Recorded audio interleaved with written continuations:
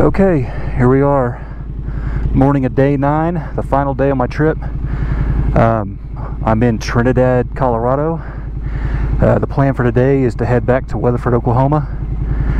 Uh, it's my longest day by about an hour and a half. It'll be about a seven hour ride.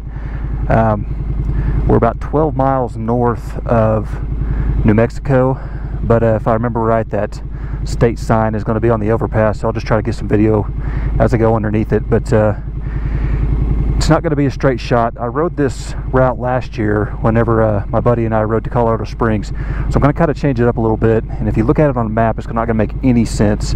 Um, we're going to go down through to New Mexico, uh, up into the Oklahoma Panhandle, and then drop back across the Texas Panhandle and into uh, western Oklahoma. The only reason I'm doing that is because uh, I already have some pictures with a New Mexico sign and a Texas sign. I just want some pictures with some different signs. So that's pretty much what I plan on doing today. Um, it's shortly after 7. Oh, it's not even 7. 20 till 7. It's a little bit brisk. Got the jacket liner in. Going to go throw the, the warmer gloves on. And uh, I'll be on the road here in just a minute.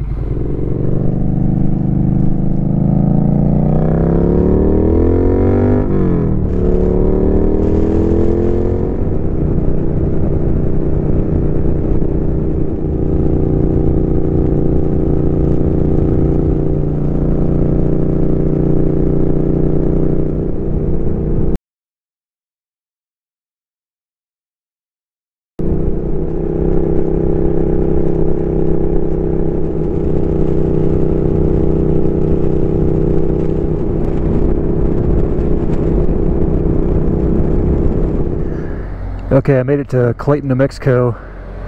Stopped off here for just a second, clean off my visor. Uh, now's whenever uh, the trip starts to not make sense, unless uh, you want to take some pictures at some signs. So uh, we're going to angle back uh, up northwest at this point to uh, toward the Oklahoma Panhandle.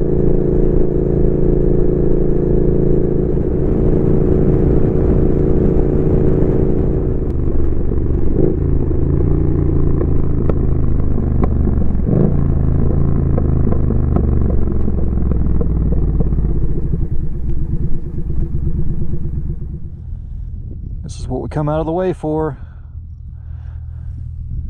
But that's a pretty good shot actually. Do it selfie style, like a teenage girl.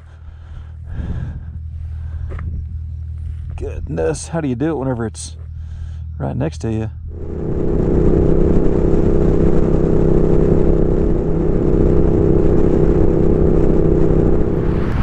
Okay, I just stopped in Boise City, Oklahoma um, I got to thinking maybe I wasn't very clear about that New Mexico uh, sign we were at. That's actually the tip of the Oklahoma Panhandle in New Mexico.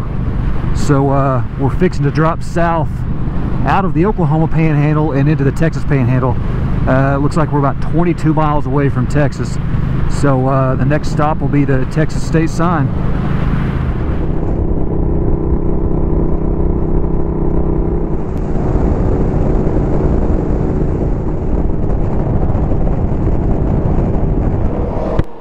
Okay, I made it to this Texas sign right here. This one's pretty cool, not your typical sign.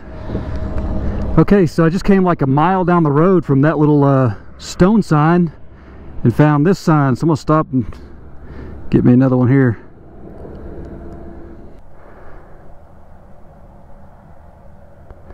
There we go.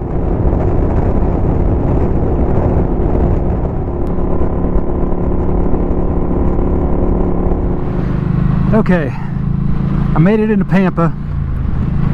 Uh, grabbed a little something to eat. Got a Powerade.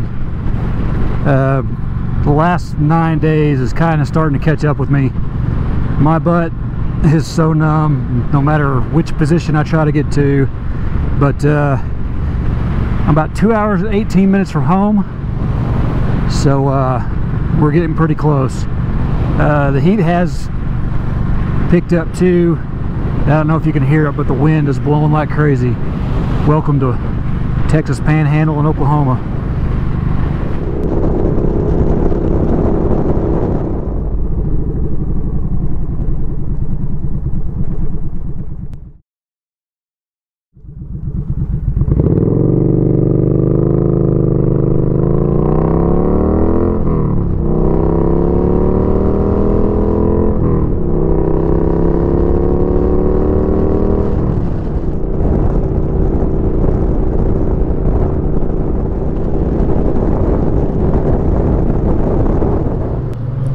Here it is. This is where I'm ending the video.